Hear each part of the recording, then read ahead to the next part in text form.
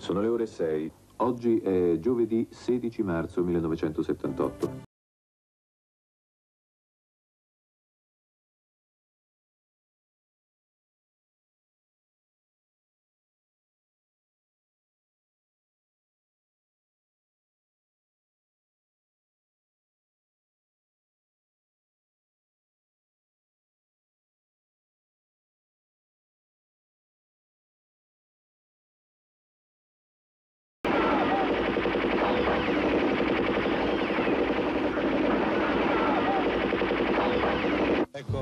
La macchina con i corpi, i corpi del- degli agenti che facevano parte della scorta del- dell'onorevole Moro, coperti da un telo. Sono due uomini sulla 130, un altro corpo è sulla macchina che seguiva. I carabinieri stanno facendo i rilievi, sono quattro morti, mi dice un, Più un ferito. più un ferito, mi dice un collega e l'onorevole Moro è stato rapito. E sembra, mi dice ancora questo collega, che ringrazio, sembra che sia stato anche ferito. Guardate i colpi, può andare sulla portiera per piacere, guardate i colpi, sparati evidentemente con, con...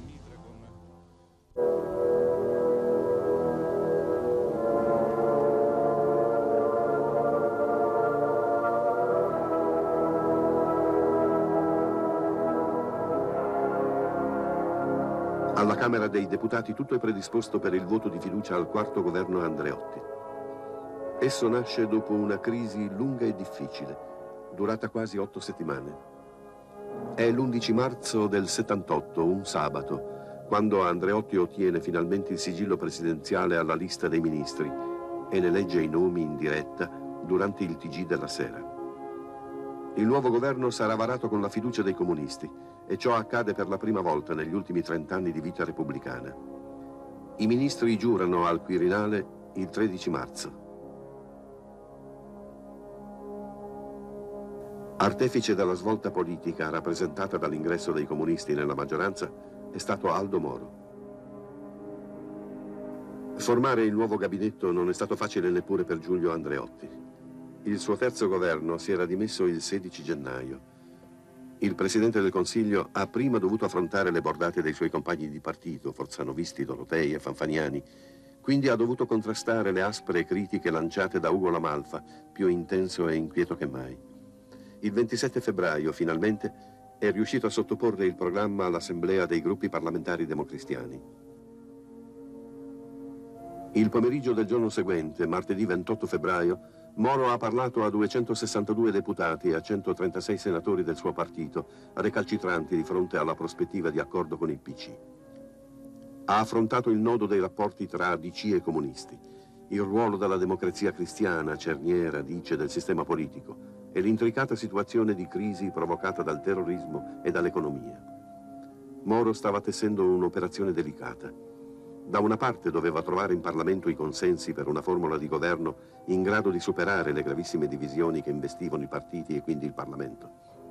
Dall'altra voleva evitare l'isolamento della DC dalle altre forze politiche in un momento in cui le emergenze sembravano poter destabilizzare, così si era espresso, il sistema democratico.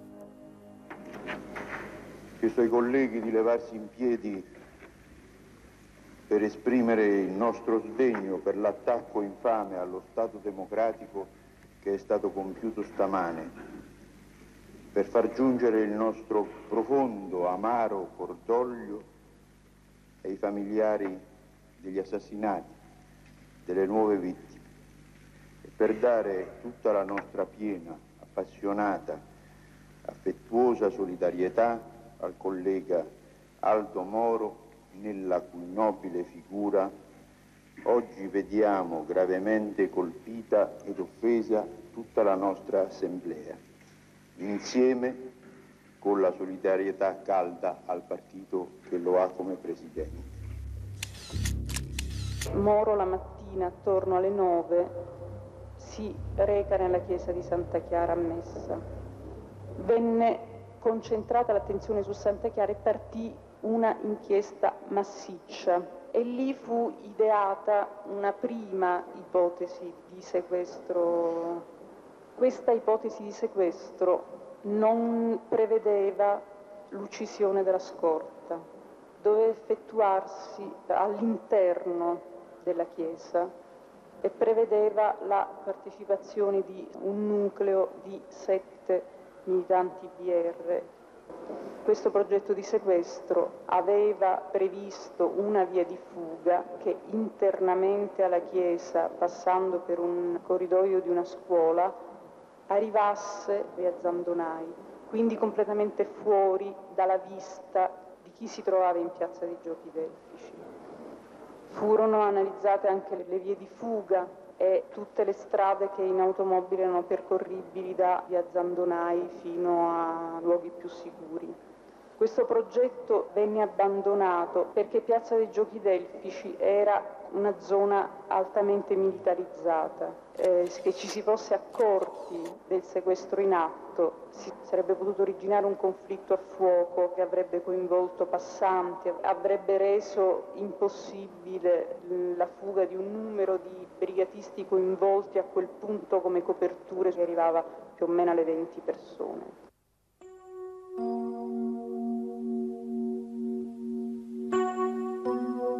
La direzione della colonna romana decide allora di agire bloccando l'auto di Moro lungo il percorso tra Via Trionfale e la chiesa di Santa Chiara. Proprio davanti alla chiesa, Franco Bonisoli, che conosceremo bene attraverso una serrata e illuminante intervista al termine di questo filmato, scopre che l'auto assegnata a Moro non è blindata. L'azione prevede l'uccisione della scorta.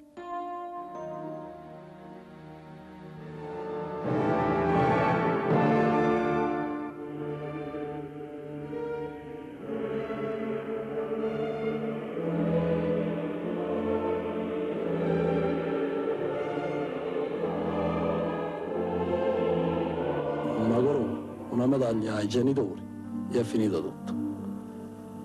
Come ci disse il ministro Cossica che dovevano finire di ammazzare i figli dei contadini e adesso hanno ammazzato altre cinque figli dei contadini.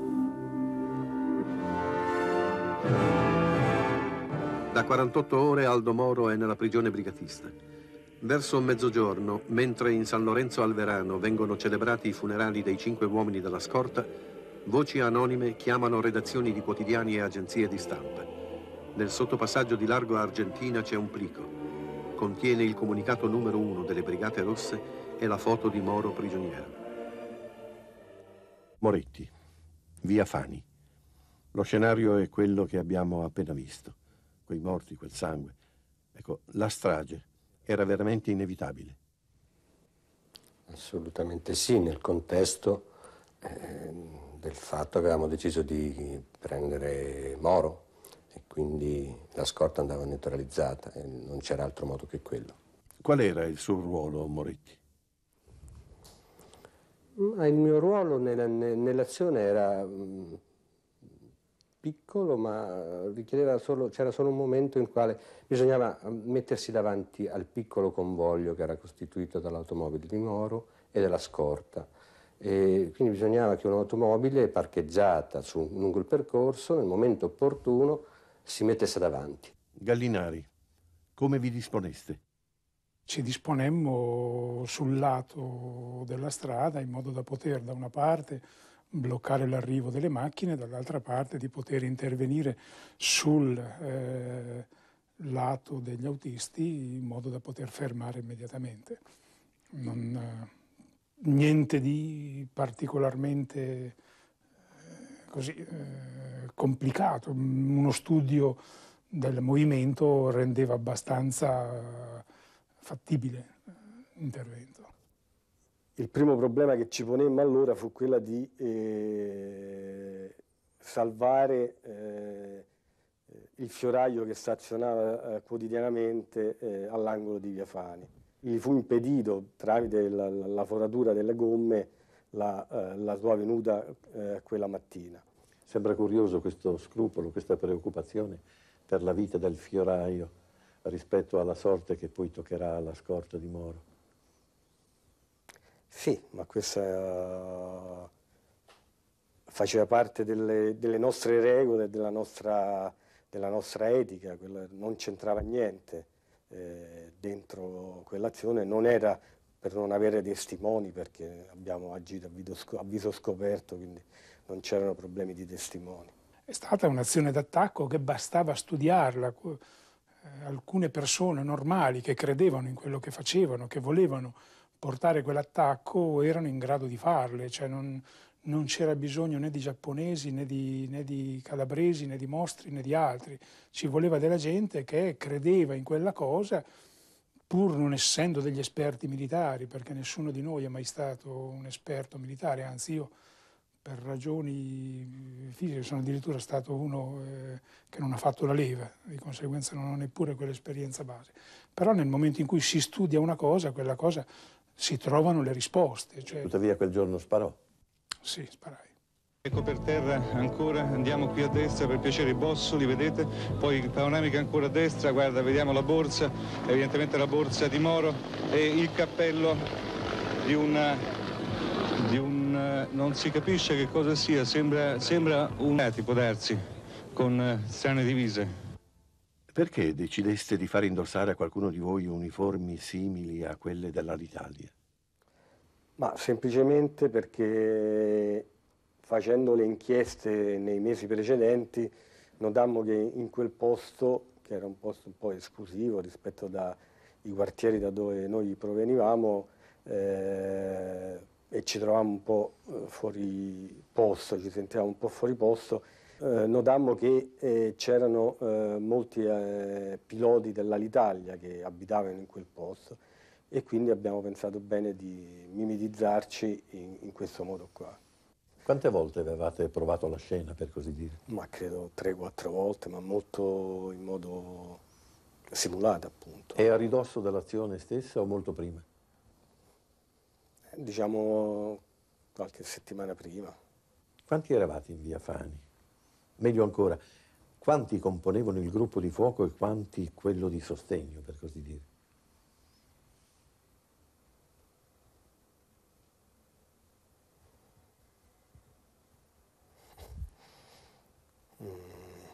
Problema è, è, rifare un attimo mente locale perché dopo tanti anni non è, non è facile. Eh. È solo un fatto di memoria, Seghetti? Sì, sì, no, solo di, di ricostruire perché personalmente non ho mai parlato di queste cose eh, nei tribunali e quindi è una cosa che eh,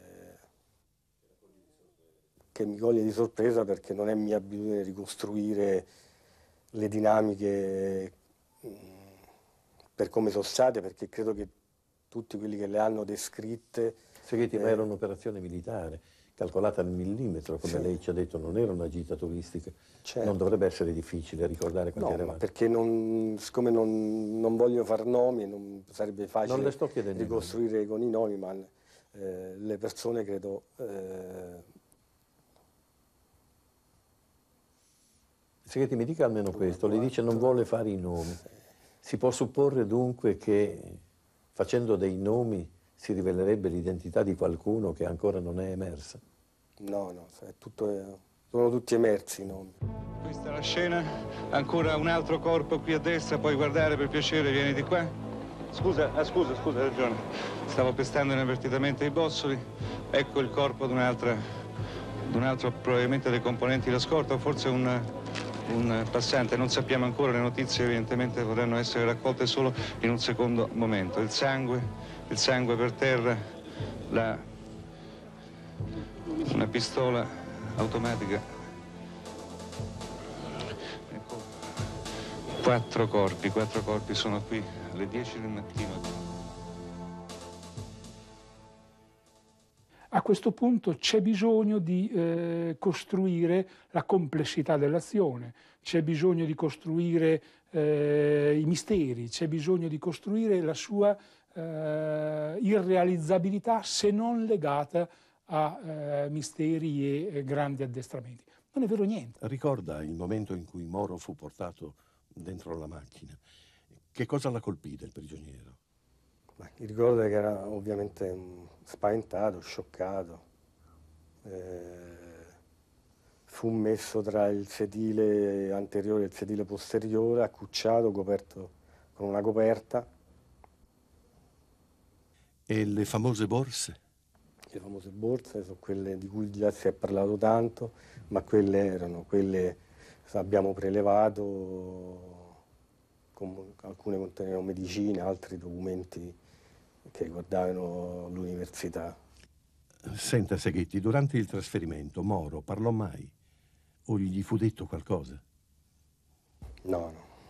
Moro era consapevole o no di quanto andava accadendo? Sì, Moro lo sapeva in maniera assoluta perché eh, aveva visto tutto, seppure in maniera eh, tale che provoca un, un, senso di shock una scena del genere. Eravamo tutti noi un po' sotto shock perché, perché sì, era una sparatoria con molti mitra, molti morti, molto sangue, una scena molto brutta. Subito dopo Via Fani, Moro viene trasferito in quella che sarà la sua prigione. Il trasferimento però non è né immediato né diretto, ci sono dei passaggi. Lei ricorda quali furono? Ma i passaggi furono solo, solo quello nel, nel furgone e, e, poi da lì fino alla stand. Mi perdoni, di Monteverde. Perché nel furgone? Nel furgone perché c'era una cassa in cui è stato fatto entrare è stato Moro. Fatto entrare. Poi questa cassa viene portata dove? Fin dove? Col furgone viene portata fino alla, alla standa di via Colli Portuensi. E lì viene prelevato da? Lì viene lasciato a Moretti. Il paese è sotto shock. La classe politica, il Parlamento, il governo, le forze sociali, in definitiva il paese sono attoniti, sbalorditi. A Palazzo Chigi si svolge una riunione dei vertici dei partiti. Con Andreotti vi partecipa il segretario del PC Berlinguer, accompagnato da Natta e Paietta, il segretario democristiano Zaccagnini con Bodrato, il segretario del Partito Socialista Craxi con Divagno, il segretario del Partito Socialdemocratico Romita, il presidente del Partito Repubblicano Lamalfa con il segretario Biasini. Il clima è di emergenza nazionale. Approfitto di questa occasione per rivolgere un appello non soltanto ai cittadini che mi sentono perché eh, dimostrino il loro attaccamento alle istituzioni dando tutta la collaborazione possibile alle forze dell'ordine, ma rivolgo anche un appello alla stampa e alla televisione perché cooperi con noi con una informazione precisa ed equilibrata per, renderci, per darci la possibilità di gestire nell'interesse dello Stato e della tutela delle vite umane questa grave crisi che il Paese attraversa. È costituito il Comitato Tecnico Operativo. Per 55 giorni avrà l'incarico di coordinare le ricerche dei terroristi e dell'ostaggio. Il ministro dell'Interno, Cossiga, agisce con tempestività. Chiede che venga concordato un piano di intervento e aggiorna i lavori alle 19.30.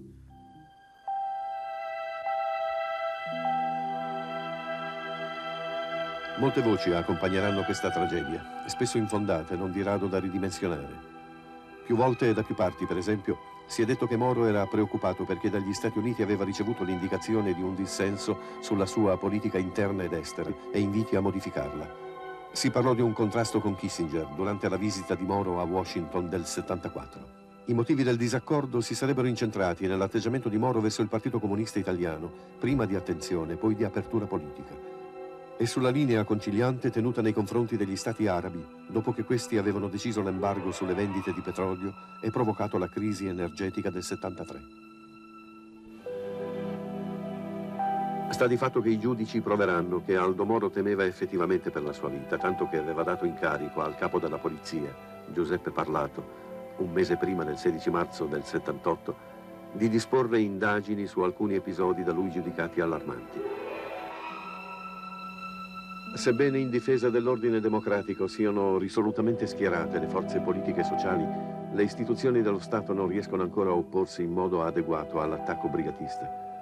Coloro che guidano le ricerche si muovono tra forti difficoltà e con grande dedizione, e ciò tra non molto darà i suoi frutti. L'azione repressiva, infatti, si farà sempre più risoluta ed efficace, ma sul momento L'apparato con cui lo Stato deve difendersi risente di un precario coordinamento, di ambiguità remote e di ostacoli non di rado inspiegabili.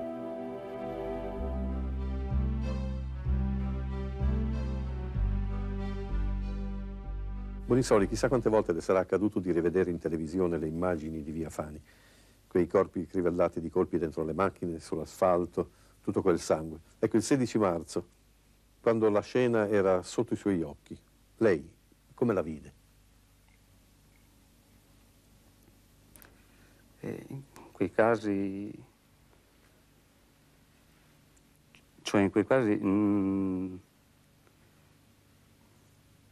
non, non c'è tempo per pensare, cioè, il problema è andare via subito e riuscire a realizzare, cioè a compiere definitivamente la cosa, cioè portando, portare via Moro, portare, andare via noi, ecco, e riuscire a mettersi in salvo. In quei casi non è che si riesce a pensare, sono cose che si pensa sempre dopo. Lei ha sparato quel giorno? Sì. Quanti colpi? Non ricordo, un caricatore. Su chi? Mm, Ha mai pensato Bonisoli di potersi trovare di fronte, magari per sua stessa scelta, a un parente? Sì, ho pensato. E... Cioè, questo è un grosso problema che, che io ancora ho e penso che mi rimarrà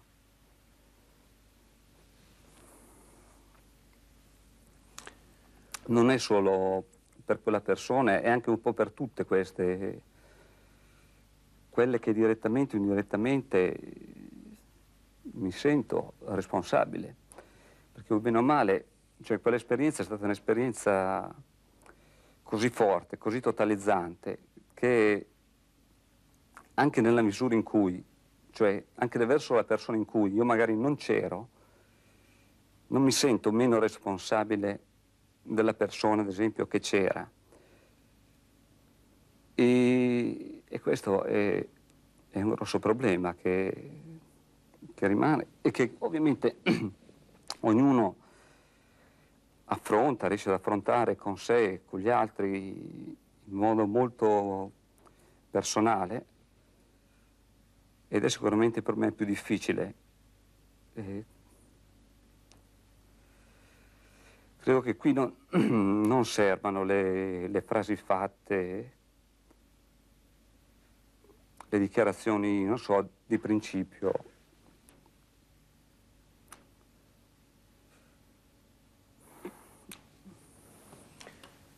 No, se sospendo un attimo. Certo.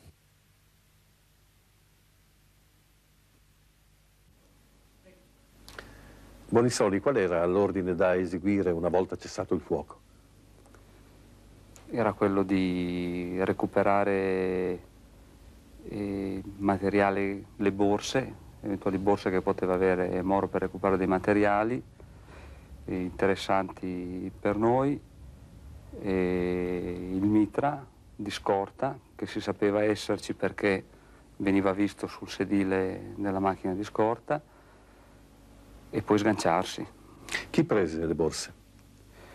Mm, con precisione non lo so, uno dei mm, del nucleo e so che erano queste due borse. Ricorda che fossero due? Sì. Ne è certo? Sì, sì. Sì, perché quando a un certo punto del, sulla 128 su cui andai via anch'io, eh, erano, su quella erano su quella macchina, furono messi su quella macchina. E quando ci sganciammo io le passai a un'altra persona e poi me ne andai secondo la strada che era stata prefissata. Poi che lei sappia quale fu il viaggio di queste borse?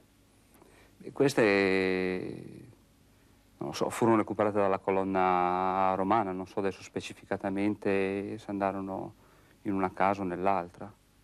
Subito dopo il gruppo di fuoco si sciolse, ognuno prese una strada diversa. Quando e come lasciò la capitale? Dunque, portai la 128 che mi era stata consegnata in quel momento eh, in eh, via Licinio Calvo dove si era predisposto di lasciarla, di abbandonarla e scesi una scalinata che c'era, che lì, questa via finisce, mi sembra c'è una lunga scalinata scende, presi un autobus che portava in stazione, alla stazione Termini. Da lì presi il treno per Milano.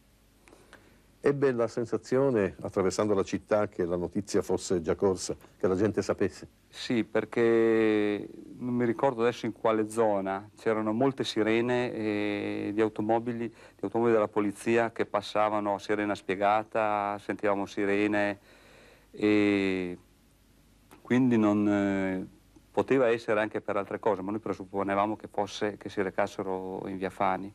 Bonizzoli, quel viaggio, come lo ricorda?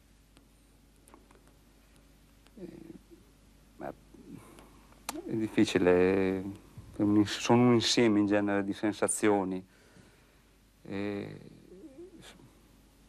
insieme sicuramente c'era anche il fatto di, che l'azione il, il fosse riuscita positivamente. Ecco, per tutto quello adesso mi è difficile dire queste cose perché vedendo le cose in un'altra ottica, in un altro modo, in un altro modo di sentire soprattutto le cose, eh, mi è estremamente difficile parlare, ad esempio, non so, dire ah, eh, contento che fosse riuscita l'azione, che fosse andata bene, perché allora l'obiettivo era quello e quindi si era realizzata. Insomma, cose così forti. Cioè, sicuramente c'era questo, poi non so, la, la, la, la fretta di arrivare al sicuro.